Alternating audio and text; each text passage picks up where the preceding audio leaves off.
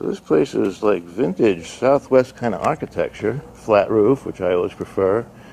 And here we got this uh, kind of like